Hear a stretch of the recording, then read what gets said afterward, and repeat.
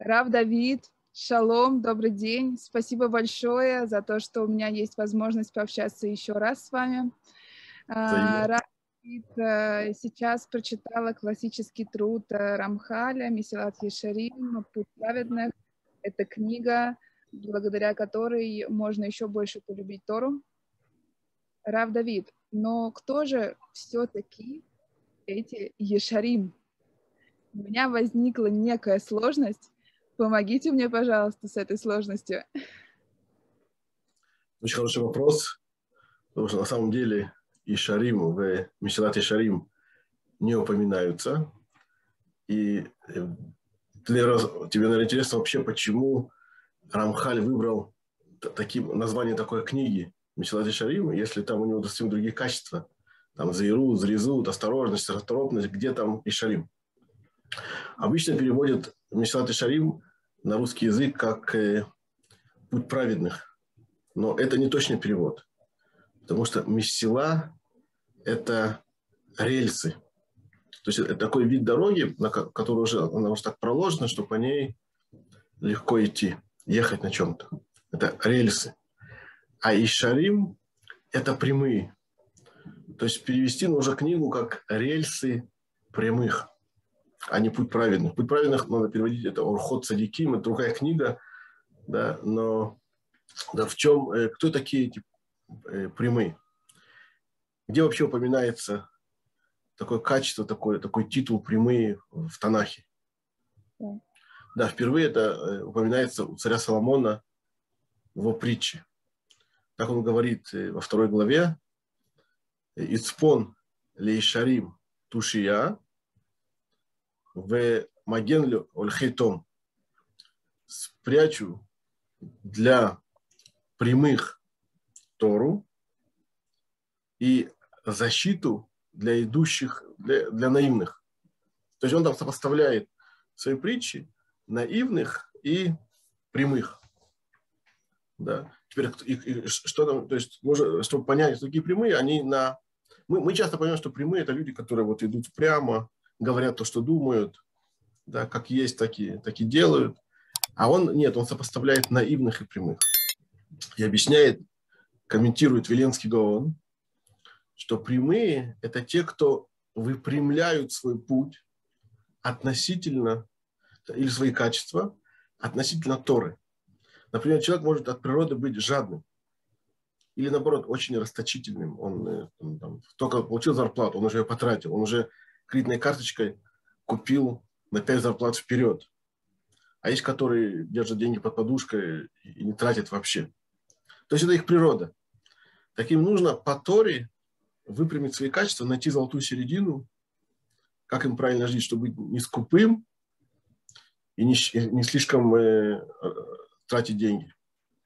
Есть люди, которые по природе, они гневливые, очень гневаются, нервные, а есть люди по природе, на, наоборот, э, такие, как э, там, могут, там, такие спокойные, есть такие вообще как люди отмороженные, как бы так, замороженные, как будто они вообще не реагируют ни на что. Что вы им показали, они так вот и, да. И нужно найти, нужно, с одной стороны, не нервничать постоянно, с другой стороны, живо реагировать на ситуации, которые вокруг тебя, какую-то реакцию иметь. Там где-то улыбнуться, где-то там удивиться, где-то расстроиться.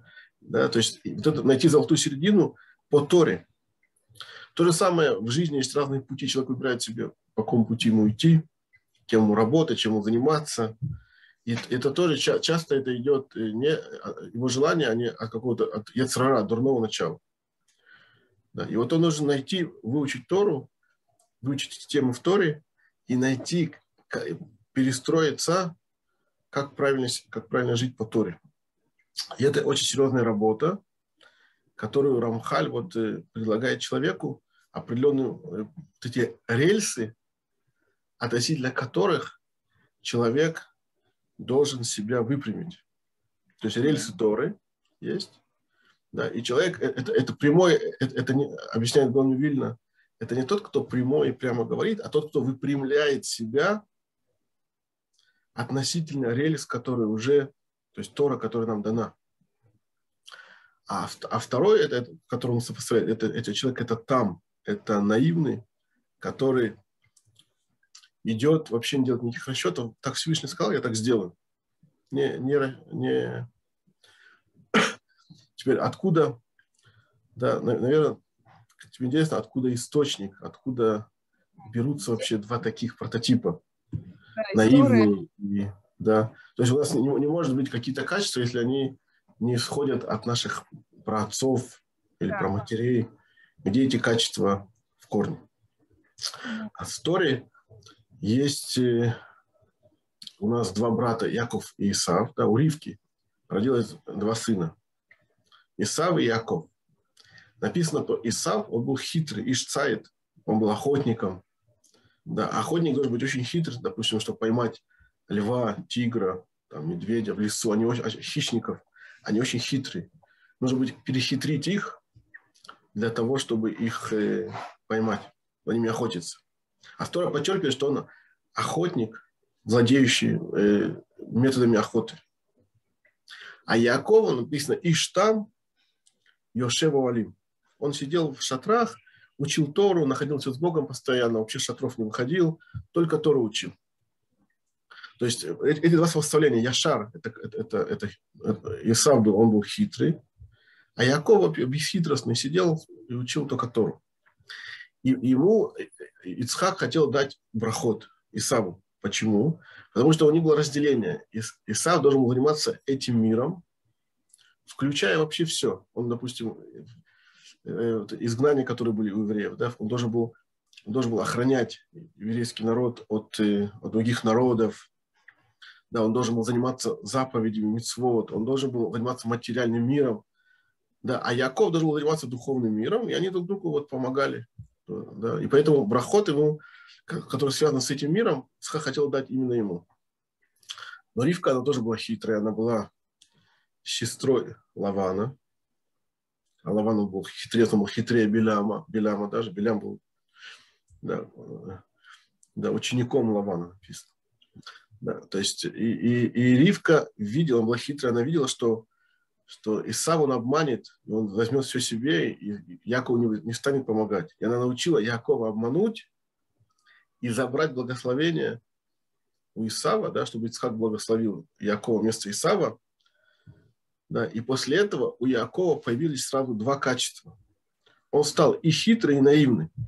Он, он теперь заниматься должен и этим миром, да, есть евреи, которые успешно занимаются этим миром, бизнесом, там, заповедями, всем остальным. Есть евреи, которые учат Тору успешно и друг другу помогают. Да? И после этого мы видим, когда что Яков стал хитрым. Он когда пришел к Лавану, да, он говорит э, Лавану, ты, ты хочешь быть со мной честным, я буду чистым, я буду с тобой честным. Ты хочешь со мной быть хитрым, я брат, я сын Ривки, твоей сестры я могу быть с тобой таким тоже. И мы видим, какой он был хитрый, как они там меня, он, и Лаван пытался его обмануть, Яков тоже. То есть, да, потом Яков победил Лавана практически, победил Исава и победил ангела Исава, когда он уже выходил от Лавана, он на, на реке Ябок, Нахаль Ябок, он победил ангела Исава. И тот ангел Исава говорит, теперь больше твое имя не Яков, а Израиль да, потому что ты победил людей, победил ангел. Да, Заритым Муким Анашим, Мехальта. То есть получается, что из Яшар, да, это имя Яшар, Исракель, а, имя Яшар прямое, а оно находится в, уже в имени Якова. То есть Яков сначала был Иштам, Йошева Алим, а потом он стал еще Яшар. Да, то есть Ишар это человек, который победитель, который может путь выпрямить. Да, есть сложности, есть испытания, и он этот путь выпрямляет, этот путь он исправляет. На самом деле в, в каждом из нас должны быть оба эти качества. Мы должны быть в, ситу... в разных ситуациях с Богом. Всевышний говорит, сделай так. Да никаких расчетов, значит, надо так, так делать и бесхитростно идти делать имя, да, как, как наивный, делать желание Бога. Но есть много ситуаций, когда для того, чтобы исполнить желание Бога, нужна хитрость, нужно пройти испытания, препятствия, и ну, в жизни очень много ситуаций, когда человек должен быть, смотреть, э, да, как, э, да, когда вот вокруг есть враги, вокруг э, сложности. Поэтому мы должны обладать этими обоими качествами. Быть и иногда, когда нужно быть там, наивный, такой бесхитростный, А очень часто быть хитрым, когда есть враги, чтобы, чтобы, или испытания, чтобы была возможность исполнить желание Бога.